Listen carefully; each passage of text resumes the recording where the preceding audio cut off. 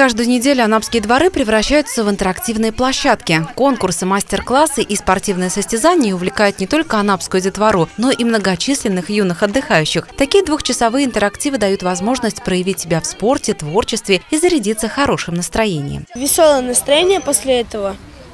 И вот до этого ехали, но мы поругались с сестрой. Тель я, она станцевала, и ну, нормально все, тель.